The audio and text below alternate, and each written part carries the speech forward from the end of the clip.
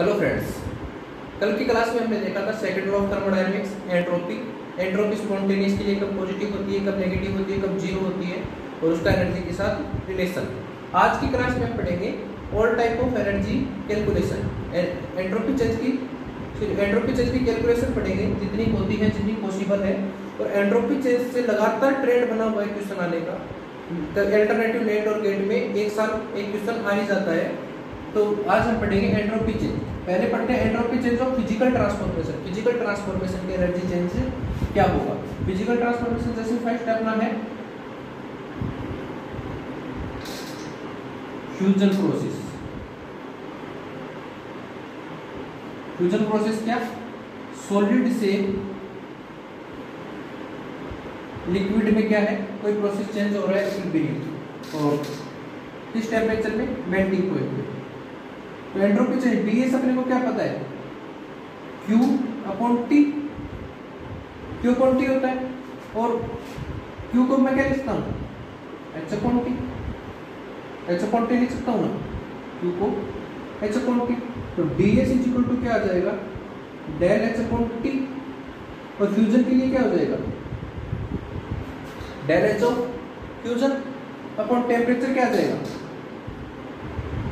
Melting तो D S equal to Q upon और heat क्या है? एंथैल्पी हीट और एंथैल्पी एक ही चीज़ है। तो एंथैल्पी को मिलता तो D S equal to del H upon T fusion के लिए टेम्परेचर क्या रहेगा? मेल्टिंग पॉइंट मेल्टिंग पॉइंट क्योंकि टेम्परेचर मेल्टिंग पॉइंट पे हो रहा है तो फ्यूजन प्रोसेस के लिए होगा D S equal to del H upon T melting point दूसरा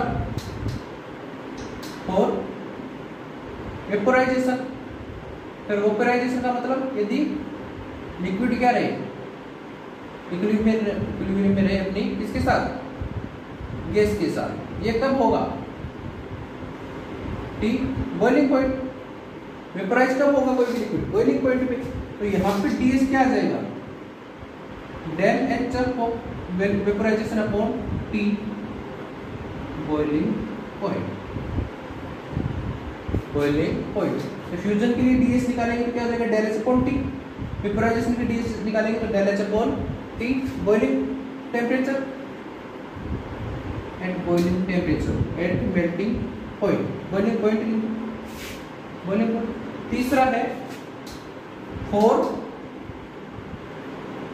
sublimation process sublimation process sublimation process क्या होता है? जब सॉलिड डायरेक्ट चेंज हो गैस में, जब सॉलिड डायरेक्ट चेंज हो गैस में तो डीएस क्या लिखा जाएगा? डीएस लिखा जाएगा del H sublimation upon T sublimation del H sublimation upon T sublimation और डेल एच सब्लिमेशन को मैं क्या लिख सकता हूँ? डेल एच सब्लिमेशन को मैं लिख सकता हूँ। Del H fusion plus del H vaporization ठीक है डेल एच सब्लिमेशन क्या जाएगा दोनों का ऐड डेल एच फ्यूजन और डेल एच वेपोराइजेशन को ऐड करेंगे तो क्या जाएगा? डेल एच सब्लिमेशन तो डीएस क्या जाएगा? Del H sublimation upon T sublimation temperature ये है फ़िज़िकल ट्रांसफॉर्मेशन के लिए एंट्रोपी का कैलकुलेशन करना है जिसके अपने को एंथैल्पी चेंज पता है और मेल्टिंग पॉइंट के बॉइलिंग पॉइंट पता है। इसके बाद एक इंपॉर्टेंट रूल है टॉर्टन का रूल ट्राउटन का रूल क्या कहता है देखना ट्राउटन्स रूल। ट्राउटन्स रूल पहली चीज़ तो एप्लीकेबल किस पे होगा? वेपोराइजेशन ऑफ़ लिक्विड सिर्फ़ और सिर्फ़ वेपोराइजेशन ऑफ़ लिक्विड पे ही ट्राउटन का रूल एप्लीकेबल होगा।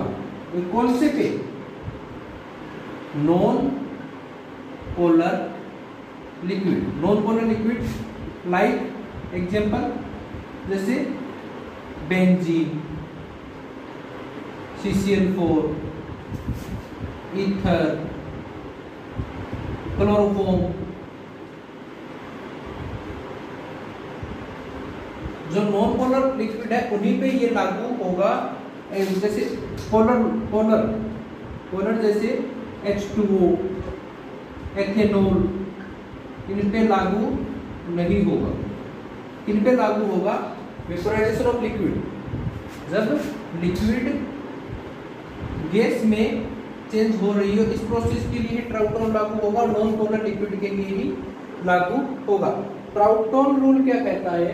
जब हम किसी नॉन पोलर लिक्विड को वेपोराइज करते हैं, जब किस नॉन पोलर लिक्विड को वेपोराइज करते हैं तो entropy change del S is approximate 88 joule kelvin inverse mole inverse always तो ट्राउटोन में याद रखना, यदि नॉन पोलर लिक्विड का वेपोराइजेशन हो रहा है तो इस प्रकार के प्रोसेस में एंट्रोपी चेंज हमेशा 88 joule kelvin inverse mole inverse होता है। ठीक है? एंट्रोपी की क्या होती है? जूल केल्विन इनवर्स एक मोल के पीछे चेंज होगा 88 joule kelvin inverse mole inverse ये है ट्राउटोन रूल बहुत ही इंपॉर्टेंट है काफ़ी क्वेश्चन में इसकी डायरेक्ट वैल्यू याद करनी पड़ती है ठीक है अब हम पढ़ेंगे entropy change for a ideal gas. Entropy change for a ideal gas. Entropy change for ideal gas. Ideal gas के लिए चेंज करेंगे? तो अपन को पता है डीएस क्या होता है? Q reversible upon T Q reversible upon T और क्यू रिवर्सिबल हम जानते हैं क्या होता है? D U is equal to Q reversible minus W तो क्यू रिवर्सिबल क्या आ जाएगा? D U plus P D आ जाएगा, ये रख सकता हूँ? तो D S is equal to D U plus P D V upon T लिख सकता हूँ? और डी यू इक्वल टू मैं जानता हूँ क्या होता है? D U equal to CVDT याद करो heat capacity CV equal to DU upon DT तो D U equal to CVDT तो डीएस क्या आ जाएगा DS is equal to CV DT N mole के लिए N plus P DV upon T आ जाएगा। और पी की जगह क्या रखता हूँ? आइडियल गैस के लिए। P is equal to N R T upon V देख सकते मैं यहाँ पे लगूँगा तो डीएस क्या आ जाएगा? This is equal to N C V D T upon T plus N R upon V D V temperature से टेम्परेचर कैंसिल आउट हो जाएगा, ये डी वी हो जाएगा।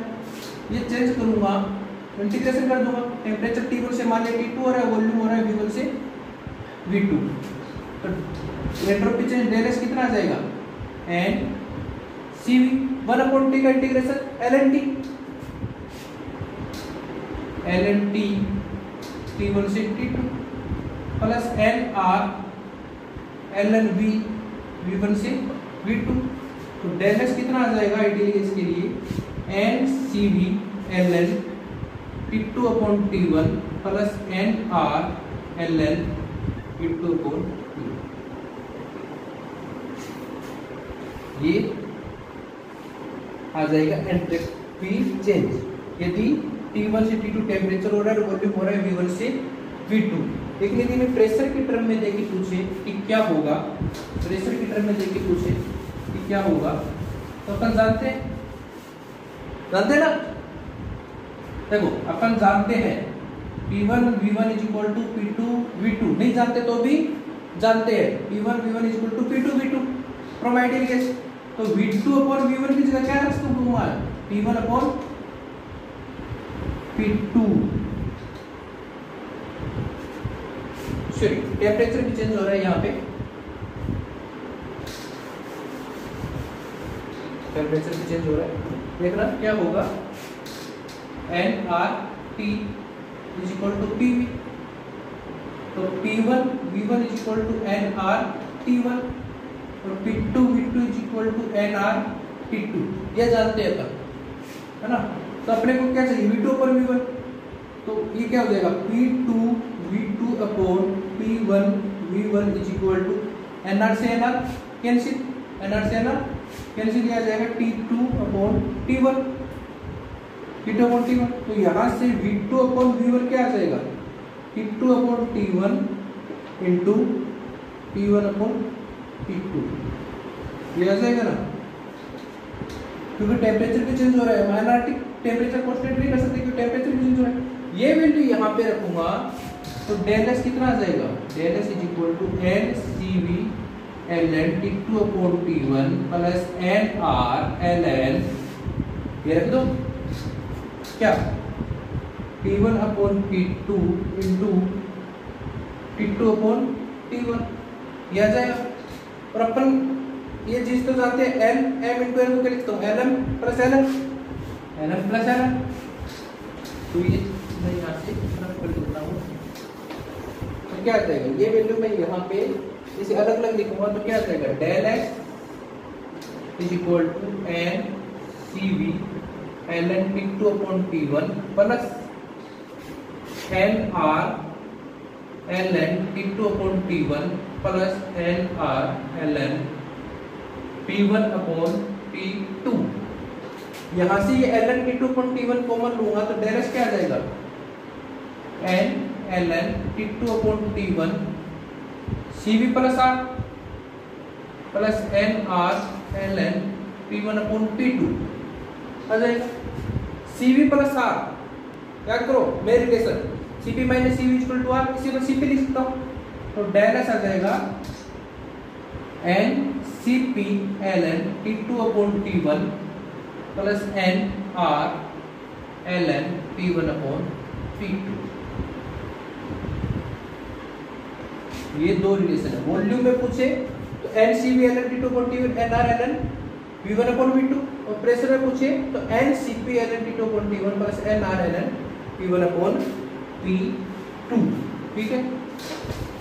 ये है entropy change for a ideal case entropy change for a ideal case देखना formula हम अलग से लिख लेते हैं। फॉर्मूला अपन अलग से लिख लेते हैं। क्या फॉर्मूले फाइंड आउट किया हमने दो फॉर्मूले फाइंड आउट किए del S is equal to N C B L N T two upon T one plus N R L N V two upon V one और दूसरा formula del S is equal to N C P L N T two upon T one plus N R L N V P one upon P two ये तो दो फॉर्मूले थे। यदि मैं पहला करूँ for isothermal process isothermal process पे टी वन बराबर क्या रहेगा? टी टू तो L N T two upon T one की वैल्यू क्या आ जाएगी? ज़ीरो एल एन की वैल्यू ज़ीरो तो ये ज़ीरो हो जाएगी तो for isothermal process del S क्या लिखा जाएगा? N R L N V two upon V one इससे या फिर डेल एस क्या लिखा जाएगा? N R L N P one upon P two लिखा जाएगा ना डेल एस की वैल्यू दूसरा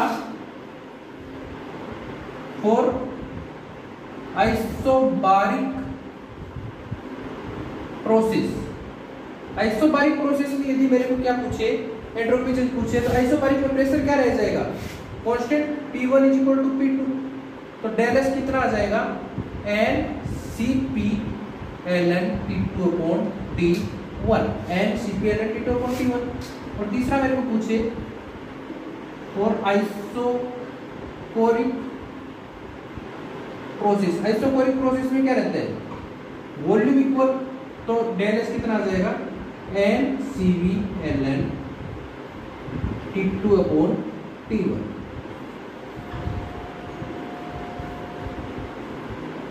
ये है entropy change for a ideal case ये फॉर्मूले आपको याद करने पड़ेंगे, कोई मुश्किल काम नहीं है।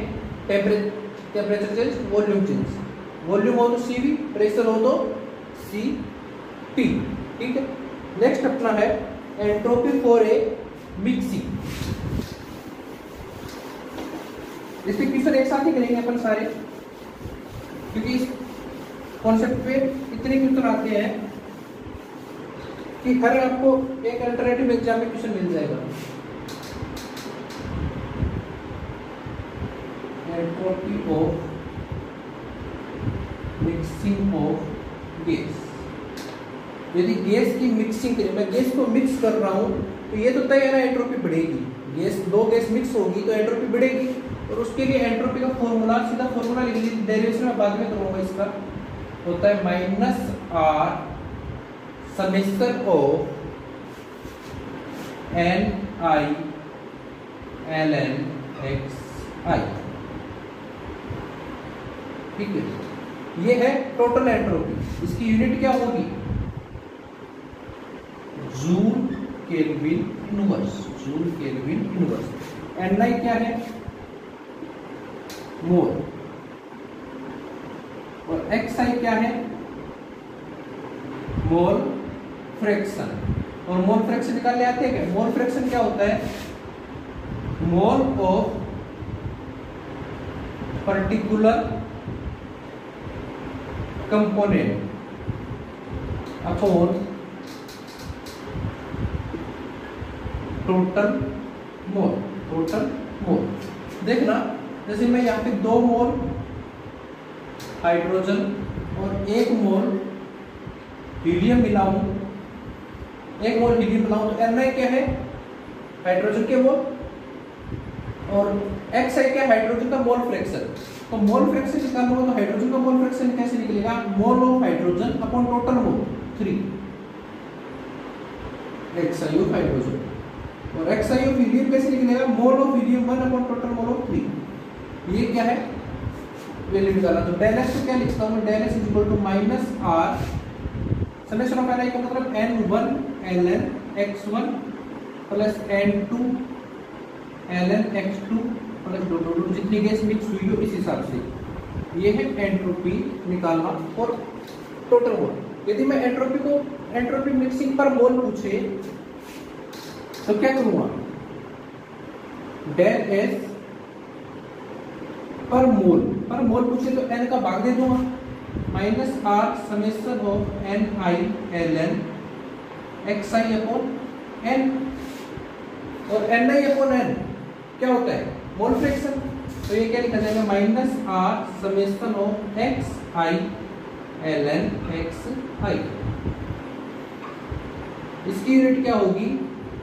Joule kelvin inverse mole inverse ये entropy of mixing per mole ये तो क्या है? एंट्रोपी ऑफ़ मिक्सिंग टोटल कुल कितनी होगी? और ये क्या है? पर मोल पर मोल ये अपनी है entropy of mixing entropy of mixing क्या होगी? अब देखना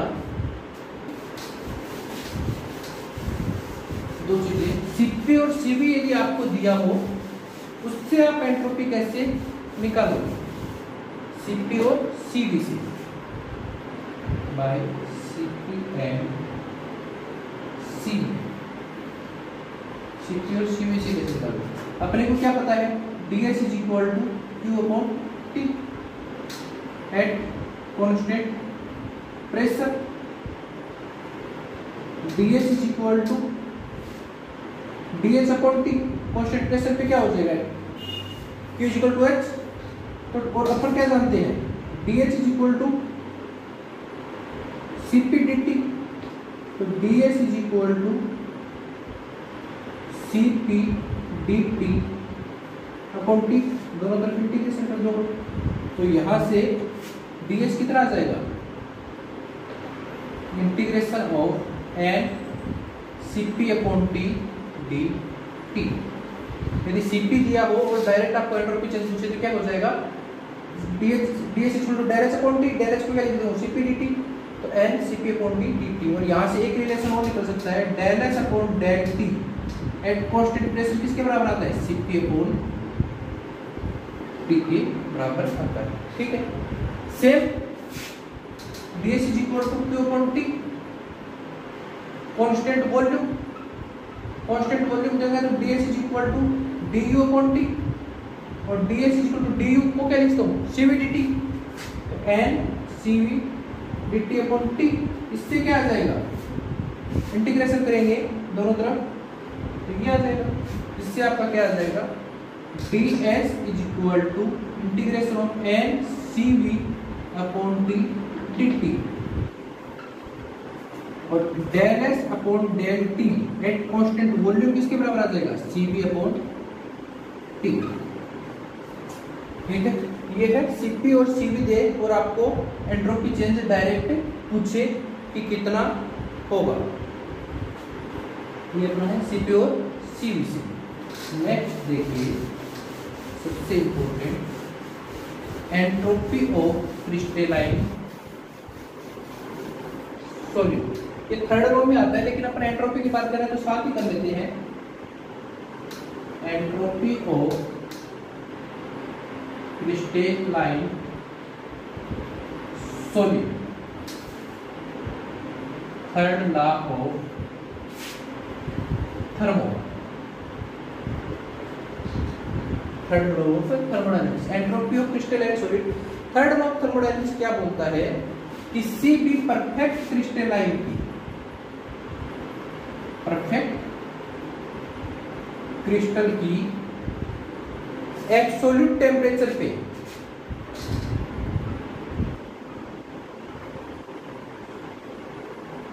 टेम्परेचर एब्सोल्यूट टेम्परेचर कितना होता है? एब्सोल्यूट टेम्परेचर होता है T equal to zero kelvin absolute temperature पे एंट्रोपी ऑलवेज कितनी होती है? ज़ीरो ऑलवेज कितनी होती है? ज़ीरो क्योंकि किसी प्रकार का वो रेंडम मोशन कर ही नहीं पाएगा। मोशन के लिए क्या चाहिए अपने को? एनर्जी टी ज़ीरो के लिए मतलब उसके पास कोई भी काइनेटिक एनर्जी नहीं है तो वो किसी प्रकार का मोशन नहीं कर पाएगा। तो एंट्रोपी क्या होगी? ज़ीरो यानी कि S zero S at T is equal to zero क्या होगा?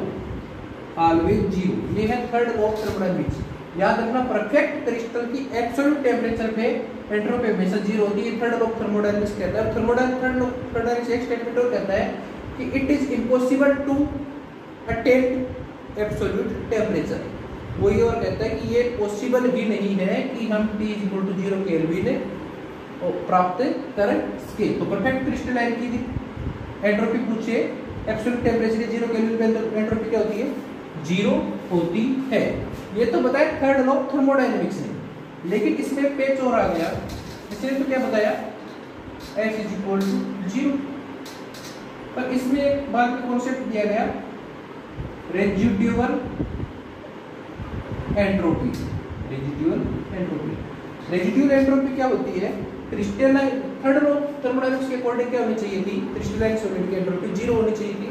लेकिन हमें ज़ीरो मिली नहीं। इन एक्चुअल हमें कभी ज़ीरो मिली नहीं। हमें कुछ ना कुछ एंट्रोपी मिली। और जो एंट्रोपी मिली, उस एंट्रोपी को क्या बोला गया? रेजिड्यूअल एंट्रोपी रेजिड्यूअल एंट्रोपी वो किसकी वजह से मिली? रेजिड्यूअल एंट्रोपी क्या कहती है?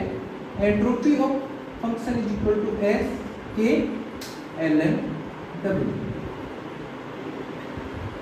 L N W ये क्या है?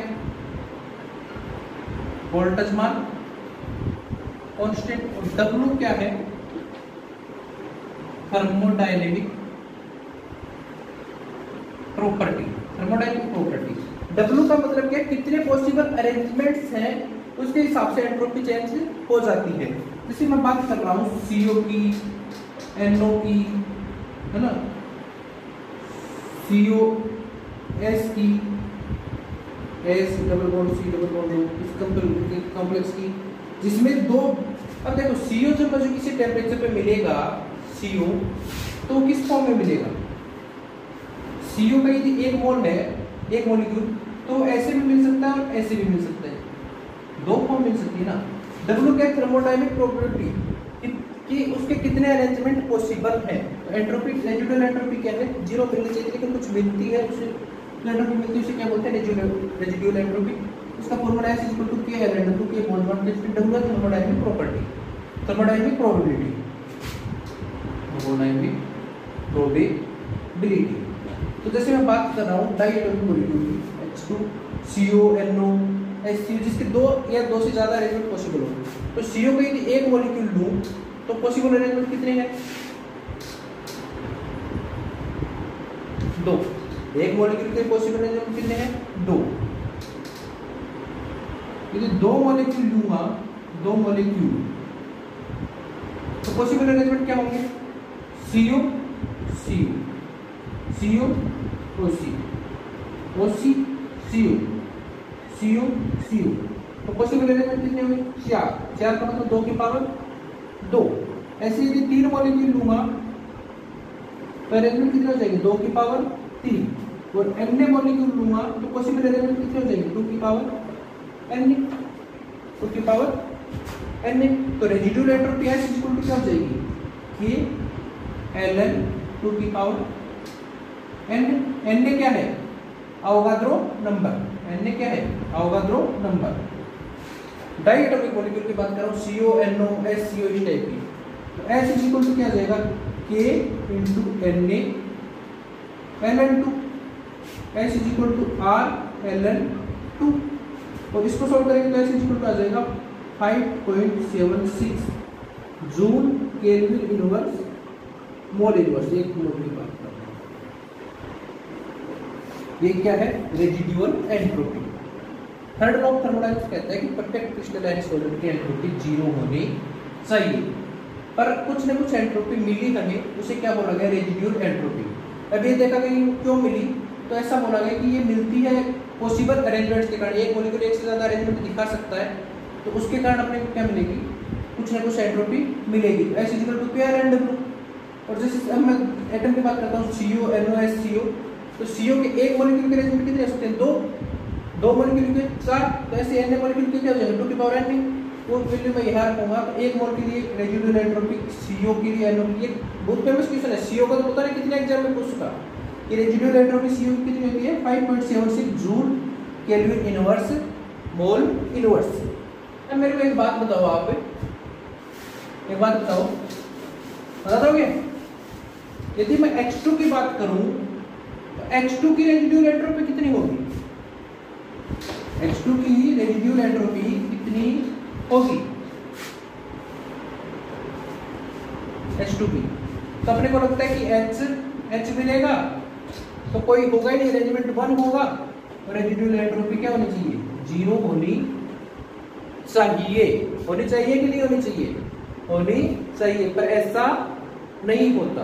अब देखो ऐसा क्यों नहीं होता? ये बता सकते हो ऐसा क्यों नहीं होता? ऐसा इसलिए नहीं होता कि H2 में कुछ मात्रा में आइसोटोप D2 मिलता है। D2 मिलता है तो यहाँ से HD और DA की पॉसिबिलिटी बनती है। तो इसकी रेजिडुअल एंट्रोपी 5.76 से तो क्या होगी? लो होगी। 5.76 से तो क्या होगी? लो होगी, लेकिन ज़ीरो नहीं होगी। ये है रेजिडुअल एंट्रोपी का कॉन्सेप्ट रेजिडुअल एंट्रोपी का कॉन्सेप्ट और अब हम एक लास्ट रूल पढ़ लेते हैं एंट्रोपी में। वो है Debye's T cube law Debye T cube law देखो, हमने क्या पढ़ा था? D S is equal to summation of C P T D T है ना? यदि मैं मान लो कि ज़ीरो के रूप पे फाइंड आउट करता हूँ, ज़ीरो से मान लो कि अपन सौ के रूप पे बीच में चेंज कर रहे हैं तो डी एस क्या आ जाएगा? C P L N T C P L N T तो D S is equal to zero से सौ C P is equal to L N hundred upon zero और हंड्रेड अपॉन ज़ीरो इसका मतलब क्या जाएगा? इनफाइनाइट इनफाइनाइट आ जाएगा तो ज़ीरो केल्विन के लिए अपने एंट्रोपी इस फॉर्मूले से निकालना पॉसिबल ही नहीं था। ज़ीरो के लिए इस फॉर्मूले से एंट्रोपी निकालना पॉसिबल ही नहीं था। तो इसके लिए डिबाई ने एक रूल दिया। डिबाई ने ये रूल दिया कि for zero to fifteen kelvin temperature zero से पंद्रह केल्विन टेम्परेचर के लिए सीपी है, वो टी क्यूब के डायरेक्टली प्रोपोर्शनल होता है। सीपी क्या होता है? ए से टी क्यूब होता है डिवाइड टी क्यूब ने क्या दिया? ज़ीरो से पंद्रह केल्विन टेम्परेचर के बीच में सीपी की वैल्यू क्या होती है? ए टी क्यूब एक क्या है? यहाँ पे इंपेरिकल कांस्टेंट इंपेरिकल कांस्टेंट अब हम एंट्रोपी इजीली फाइंड आउट कर सकते हैं। कैसे कर सकते हैं? देखना। यहाँ तो इनफाइनाइट वाली चीज़ पॉसिबल नहीं थी। अब देखना, कैसे कर सकते हैं? अब मेरे को जैसे सीपी फाइंड आउट करनी है। चलिए डी एस इसको फाइंड आउट करनी है C P upon T D T zero से टी के लिए पे तो मैं इसे दो पार्ट में डिवाइड कर दूँगा। ज़ीरो से पंद्रह के लिए C P T T T plus पंद्रह से टी सी पी टी पंद्रह से टी हम लोगों को फाइंड आउट कर लेंगे। ज़ीरो से पंद्रह में सी पी क्या लिखा जाएगा? ए टी क्यू ज़ीरो से फिफ्टीन फिफ्टीन को मैं यहाँ पे वर्ड टी स्टार दे देता हूँ। किस टेम्परेचर की, किस टेम्परेचर के बीच में अपने को ये दिया है? तो टी स्टार सीपी को लिखूँगा A T cube upon T D T plus T star T C P upon T D T इसका इंटीग्रेशन करूँगा तो टी स्क्वायर टी स्क्वायर का क्या हो जाएगा? D is equal to T square का इंटीग्रेशन तो ये हो जाएगा आपका one upon three A T star cube one upon three T cube आएगा टी स्टार की वैल्यू करेंगे टी स्टार क्यूब ज़ीरो लेंगे तो zero plus T star two T C T T D T ये एंट्रोपी फाइंड आउट करने का formula हो जाएगा। D S equal to one upon three A T star cube upon T star C T C P D T ये entropy हम zero kelvin से लेके start कर सकते हैं। यह है एंट्रोपी फाइंड आउट करने के कुछ फॉर्मूले कुछ तरीके। अब हम देखते हैं इस पर क्वेश्चन ये क्वेश्चन देखिए। दिसंबर 2011 हज़ार ग्यारह का क्वेश्चन है। One mole of CO two one mole of nitrogen and two mole of two were mix at three hundred calorie the entropy of mixing entropy of mixing पूछिए तो एंट्रोपी मिक्सिंग का formula क्या होता है? Del H is equal to minus R summation of N I L N X I N I L N X I देखना del S is equal to minus R N one L N X one तीन case है तो तीन के फॉर्मूले में लिखा जाएगा N two L N X two plus N three L N X three X क्या है? मोल फ्रैक्शन मोल फ्रैक्शन निकालने का तरीका क्या मोल अपॉन टोटल मोल तो del S is equal to minus R CO two के लिए मोल कितना है? वन सीओ टू का मोल फ्रैक्शन कितना आ जाएगा? वन अपॉन टोटल मोल कितनी है? One plus one plus two four total mole कितनी है? मोल फ्रैक्शन निकालने का फॉर्मूला क्या है? Mole of gas upon total mole mole of gas कितनी one total one plus one plus two four लिखा जाएगा नाइट्रोजन के लिए नाइट्रोजन का मोल क्या है? One L N one upon four फिर लिखा जाएगा ओ के लिए. Two L N two upon four ठीक है? तो del S is equal to minus R ये हो जाएगा L N four minus L N four minus L N four हो जाएगा। इसे मैं क्या लिखता हूँ? One upon four one upon four या फिर sorry one upon two one upon two लिख सकता हूँ? तो ये लिखा जाएगा minus two L N two लिखा जाएगा। इसे लिख दो L N one upon two ऊपर जाके माइनस एल एन टू ये माइनस बाहर आ जाएगा तो del is equal to R L N four plus L N four. इसे क्या लिखता हूँ प्लस एल एन तो ये देखना, समझ में नहीं आए तो L N one by two L N one by two two को माइनस एल एन टू लिख सकता हूँ, ठीक है? और टू एल एन टू को एल एन टू की स्क्वायर एल एन फोर लिख सकता हूँ। लिख दिया ये कितना हो जाएगा? Three del S is equal to three R L N four और एल एन फोर को क्या लिखता हूँ two L N two that's mean six R L N two six R L N two ये है एंट्रोपी ऑफ़ मिक्सिंग सेम ऐसा question इस बार गेट 2020 में आया था. सेम ऐसा क्वेश्चन गेट 2020 में आया था. समझ में आ गया कैसे करना? है N R L N N I X L N N I L N X I को गैस की उसका मोल फ्रैक्शन को सॉल्व करो सेम ऐसा क्वेश्चन गेट 2020 में देखो क्या क्वेश्चन आया था? उसने आपको दिया था। सीधा सीधा। तीन mole of helium three mole of helium one mole of neon की मिक्सिंग करवाई थी और उसने एंट्रोपी ऑफ़ मिक्सिंग पूछा था। तो कैसे निकालोगे भाई? Del S is equal to minus R summation of N I L N X I दो गैस है तो क्या लिखोगे? N one L N X one plus N two L N X two लिखोगे? तो माइनस आर हीलियम के लिए three L N three by four helium के मोल तीन टोटल मोल चार plus one L N one by four है ना? Minus are इसे सॉल्व कर लेंगे, है ना? ये आ जाएगा R three L N four by three plus L N four L N four इसे सोल्व कर दिया गेट है गेट में कैलकुलेटर मिलता है इजीली सॉल्व कर सकते हैं इसका आंसर अठारह जून केल्विन इनवर्स आएगा, है ना? सॉल्व कर सकते हैं। ये क्वेश्चन देखिए। For water, del H vaporization is 41 kilojoule mole inverse the molar entropy of vaporization दिसंबर 2012 का क्वेश्चन है, आपको डेल एच दिया और एंट्रोपी पूछी है। तो एंट्रोपी का फॉर्मूला जैसे क्या होता है? H is equal to del H upon T vaporization आपको दी है इकतालीस हज़ार। टेम्परेचर आपके पास नहीं वाटर वाटर का वेपोराइजेशन करना शायद सबको पता है वाटर का वेपोराइजेशन कितने पे होता है?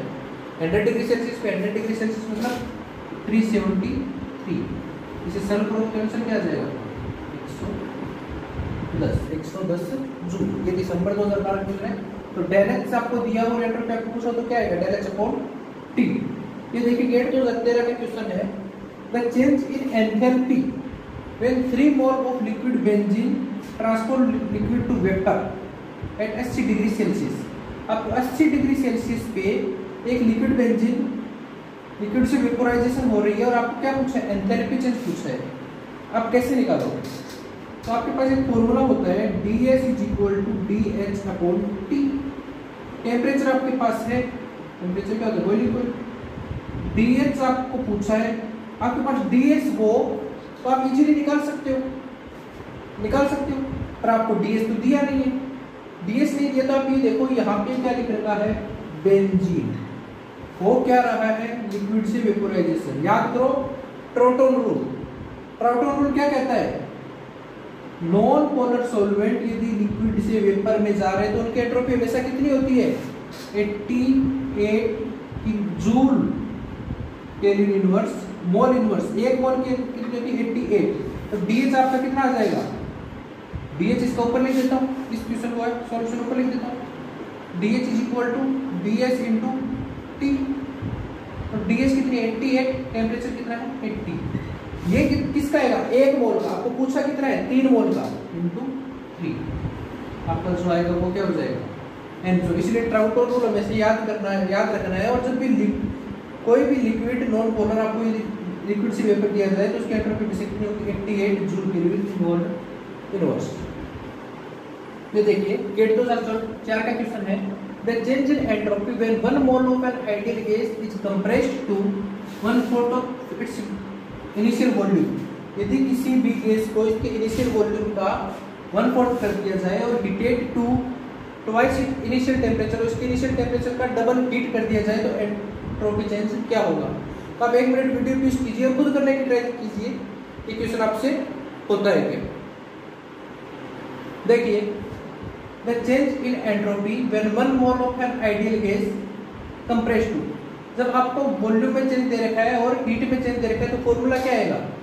D S is equal to N C V L N T two upon T one plus N R L N V two upon V one N आपको क्या दिया गया है?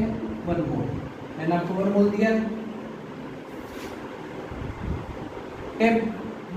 वॉल्यूम क्या देखा है? वॉल्यूम को कंप्रेस्ड कर दिया गया one fourth of initial volume V initial volume V one है तो वी टू क्या हो जाएगा? V one upon fourth one fourth क्या कर दिया गया? कंप्रेशन कर दिया गया। और टेम्परेचर क्या कर दिया गया? ट्वाइस हीटेड यानी कि T two is to two T one देखिए एड्रोपिचर पूछता है, एक मोल के लिए जब कंप्रेस्ड कर दिया गया one fourth of initial volume यानी कि वी टू क्या हो जाएगा? वी वन का वन फोर्थ और heated twice to initial temperature यानी कि टू क्या हो जाएगा टू टी वन वैल्यू रख दो। Del S is equal to C V L N T two की जगह क्या रख दूँगा? Two T one upon T one plus R L N V two V one की जगह क्या रख दूँगा? फिर वी की जगह क्या रख दूँगा? V one upon four V one से T one cancel C cancel. Del S is equal to C V L N two plus R L N one by four one by four को क्या लिखूँगा? Minus L N four C V L N two minus R L N four L N four को क्या लिखता हूँ? Two L N two लिख सकता हूँ ना? हमें एल एन मैक्सवेल चाहिए तो टू एल एन टू लिख सकता हूँ उसे ये हो जाएगा C V L N two minus two R L N two और L N two common L का आंसर क्या जाएगा? C V minus two R L N two ठीक है? ये आपका है, गेट दो हज़ार चार का क्वेश्चन ये क्वेश्चन देखिए, गेट दो हज़ार पंद्रह का क्वेश्चन है। One mole of a substance is heated from 300 Kelvin to 400 Kelvin. at a constant pressure, the change in entropy if Cp is equal to, आपको ये दे रखा है। Cp में आपको ये चेंज दे रखा है और आपको क्या पूछा है? एंट्रोपी में चेंज पूछा है। तो एंट्रोपी में चेंज पूछा है तो मैंने बता रखा है आपको Cp का रिलेशन कैसे निकालेंगे? आपने एक तो ये पढ़ रखा है del X is equal to N C P L N T two upon T one तो आप जल्दी से देखो टी वन है टी टू है, लेकिन Cp भी किसमें दे रखा है? टेम्परेचर में दे रखा है। टेम्परेचर में दे रखा है तो मैंने आपको फॉर्मूला और बताया था, क्या बताया था? D S is equal to C P upon T D T से यदि आपको सीपी और सीबी की वैल्यू टेम्परेचर में दे तब आप इसे क्या फॉर्मूला लगाओ CP T D T CP T D T ठीक है तो अब आपको देखो, इस फॉर्मूले से आपको एंट्रोपी कैलकुलेट करनी है। सीपी आपको देखा फाइव पॉइंट तो यहाँ पे वैल्यू रखोगे तो क्या आ जाएगा? Five plus zero point one T upon T D T temperature कितना दे रखा है? Three hundred to four hundred solve करोगे तो ये क्या आ जाएगा? Five upon T plus zero point one D T. आ जाएगा फाइव अपॉन टी का integration, five constant one upon T का एल एन टी हो जाएगा five L N T. Value four hundred to three hundred okay plus zero point one one का T four hundred to three hundred इसे solve करेंगे तो क्या आ जाएगा? फाइव एल एन चार सौ बटा तीन सौ। फोर बटा तीन four hundred upon three hundred four बटा तीन प्लस ज़ीरो पॉइंट वन चार सौ माइनस इसे सॉल्व करेंगे तो जो आंसर आएगा, वो क्या होगा अपना? एंट्रोपी चेंज तो सीपी में देखिए एंट्रोपी चेंज पूछे तो किस प्रकार से करना है? CP upon T D T same ऐसा क्वेश्चन गेट दो हज़ार अठारह दो हज़ार उन्नीस में आया था, वो आप कर लेना। ठीक है, ये अपना है कैलकुलेशन ऑफ़ एंट्रोपी इसके बहुत अच्छे क्वेश्चन अच्छे अच्छे एग्ज़ाम्स में पूछे जाते हैं। यदि आपको वीडियो पसंद आ रहा है और न्यूमेरिकल आप सॉल्व हो रहे हैं तो वीडियो को लाइक कीजिए। Thank you